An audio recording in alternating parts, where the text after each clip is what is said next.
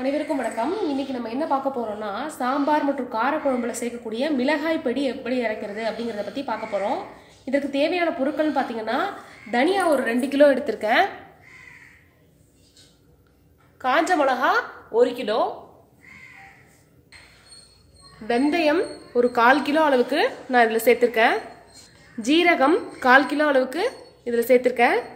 மிளகு கால் கிலோ அளவுக்கு இதில் சேர்த்துருக்கேன்.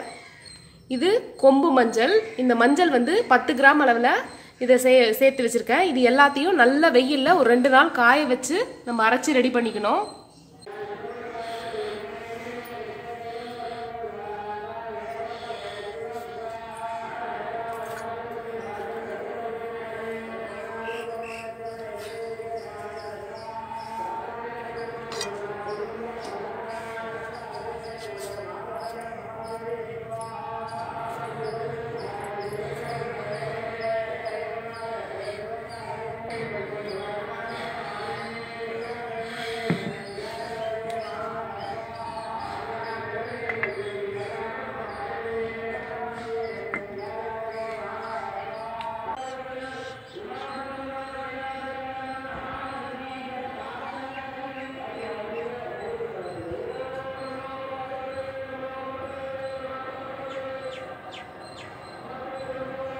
தனியா காஞ்ச மிளகா வெந்தயம் ஜீரகம் மிளகு கொம்பு மஞ்சள் இது எல்லாத்தையும் நல்ல வெயில்ல ஒரு ரெண்டு நாள் நல்லா காய வச்சு பொடி பண்ணணும்.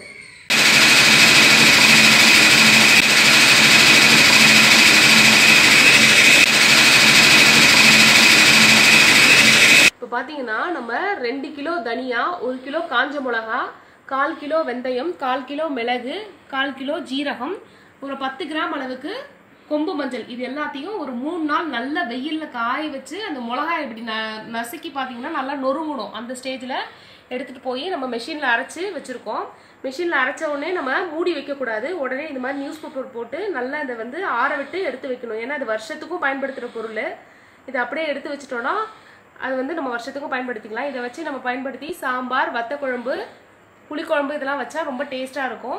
கடையில் பார்த்தீங்கன்னா இது வாங்க போனீங்கன்னா ரேட் வந்து ரொம்ப ஜாஸ்தியாக இருக்கும். இது இதில் இன்னும் ப்ரிசர்வேட்டிவ்லாம் சேர்ப்பாங்க. அவங்க வருஷத்துக்கும் வச்சுருக்கறனால இப்போ நம்மளே பார்த்து பார்த்து அரைக்கிறதுனால சுத்தமான மிளகாய் பொடி ரெடி ஆயிடுச்சு.